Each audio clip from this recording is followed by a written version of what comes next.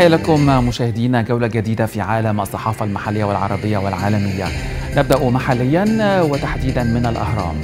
الرئيس يشارك في المؤتمر الدولي حول ليبيا بباريس اليوم. الرئيس يطالب العالم بمساندة إجراء الانتخابات الليبية في موعدها المحدد. مدبولي خلال زيارته والتسعة وزراء للوادي الجديد استراتيجية الدولة تعمل على تحسين جودة الحياة للمواطنين وإقامة المجمعات الخدمية بتكليفات من القيادة السياسية.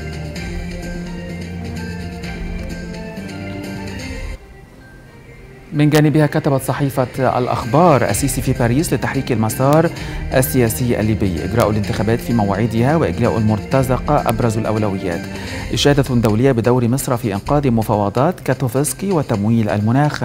غوتيريش يشيد بدور مصر المحورية في التصدي لآثار التغيرات المناخية محليا وعالميا. والتوفيق بين مصالح الدول الإفريقية وإجراء العديد من المباحثات لتوفيق الرؤى على مستوى الدول. من صحيفة الشروق الرئيس السيسي يلتقي في باريس وزيرة الجيوش الفرنسية ويبحث تطوير التعاون العسكري بين مصر وفرنسا. المجلس العالمي للتسامح والسلام يشارك في احتفال مجلس الشباب المصري بمرور خمس سنوات على تأسيسه. قرر وزير الداخلية بتنظيم الملصق الإلكتروني للسيارات ورسم سنوي 100 جنيه. من اليوم السابع بدء تطعيم طلاب الجامعات الأقل من 18 عاما بلقاح فايزر. المتحدث باسم التعليم العالي للصحيفة 60 ألف طالب سيحصلون على اللقاح وحظر دخول الحرم دون التطعيم بدءا من الخامس عشر من نوفمبر. الحبس ستة أشهر وغرامة 100 ألف جنيه عقوبة إتلاف شبكات الري.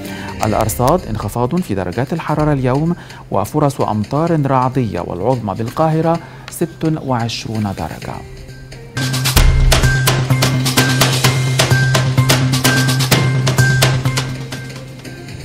إلى الصحف العربية ونطالع من صحيفة الشرق الأوسط.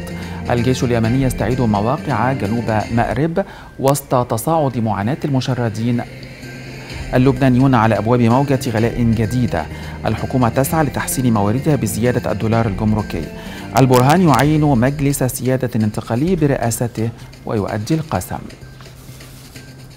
ومن الدستور الأردنية الأردن يوقع على مذكرة تفاهم في مجالات التكامل الصناعي في مصر والعراق على هامش زيارة ولي العهد لمصر. بعد 113 يوما الأسير القواسمي ينتصر وينهي إضرابه. اعتقالات بالضفة واعتداءات المستوطنين تتواصل بالخليل وصلوات تلمودية علنية بالمنطقة الشرقية للأقصى.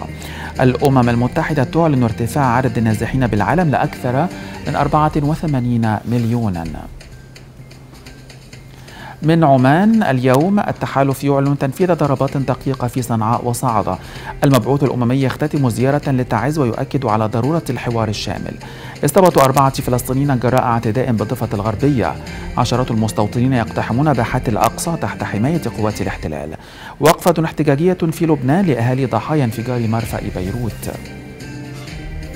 من الخليج الإماراتي المجلس الرئاسي الليبي يطالب ببرنامج زمني لخروج المرتزقة تنفيذ 22 عملية استهدفت مواقع تمركزات الحوثي في اليمن. ميقات يتمسك بانتماء لبنان العربي وعلاقات الأخوة الأشقاء وكالة الأدوية الأوروبية تقر علاجين للكورونا بالأجسام المضادة.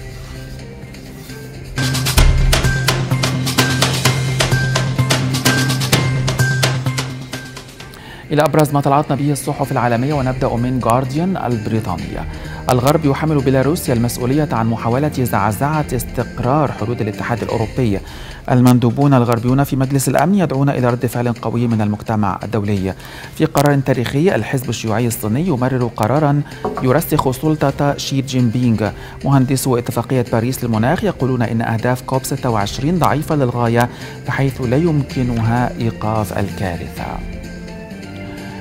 ومن اندبندنت البريطانية. بيلاروسيا تهدد بتعطيل إمدادات الغاز الأوروبية بسبب أزمة المهاجرين المتصاعدة وأوكرانيا تنشر آلاف القوات على حدودها. الولايات المتحدة تحذر أوروبا من أن روسيا يمكن أن تغزو أوكرانيا بينما تتجمع القوات قرب الحدود.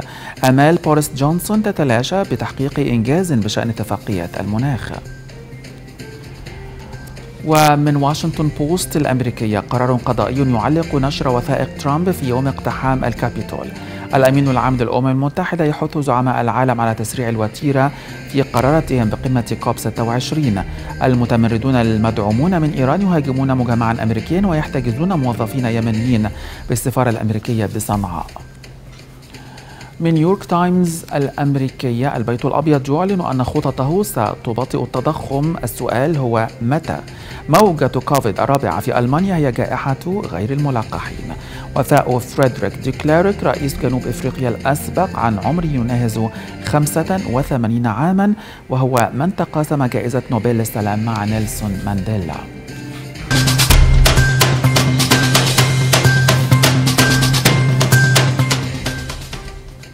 ننتقل لأبرز التصريحات في صحف اليوم ونقرأ من الشروق. الرئيس السيسي مكافحة الإرهاب تتطلب توحيد الجهود والتنسيق الجماعي لضمان قوة وفعالية المواجهة. ومن الشرق الأوسط رئيس القضاء الأعلى في العراق فائق زيدان. الانتخابات البرلمانية في العراق نزيهة. ومن واشنطن تايمز الرئيس الأمريكي جو بايدن المحاربين القدماء أنتم العمود الفقري لأمريكا.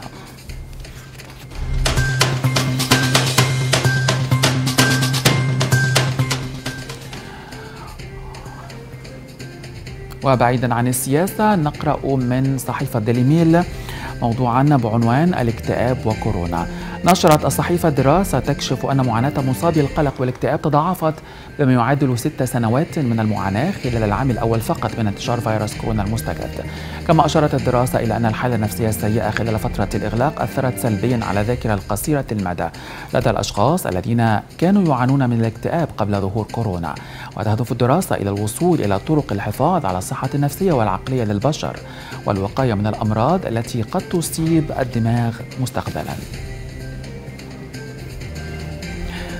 وصلنا مشاهدينا إلى نهاية هذه الجولة في صحافة القاهرة وأيضا الصحافة العربية والصحافة العالمية. أشكر لكم حسن المتابعة. إلى اللقاء.